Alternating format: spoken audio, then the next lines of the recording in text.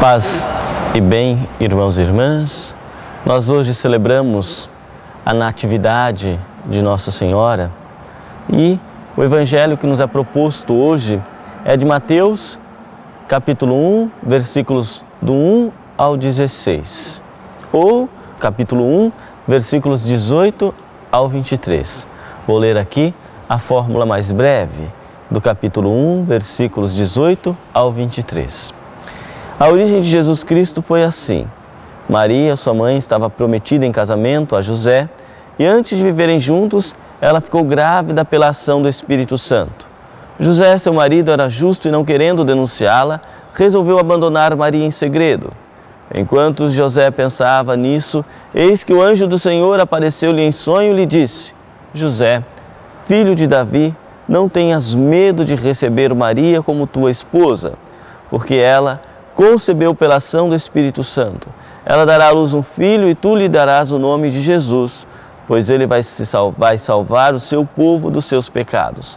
Tudo isso aconteceu para se cumprir o que o Senhor havia dito pelo profeta.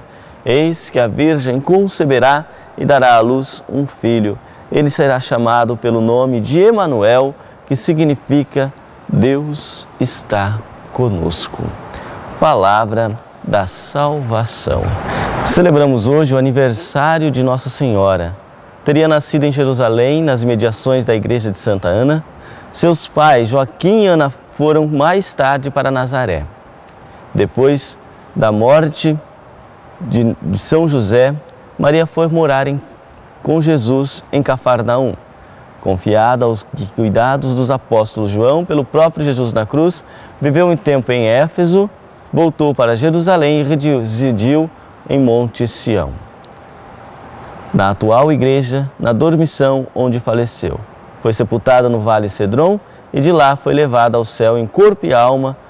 Quatro são os títulos de Maria: Mãe de Deus, Imaculada Conceição, sempre Virgem e Assunta ao céu. Sendo o principal o de Mãe de Deus, José e Maria eram de família, da família de Davi.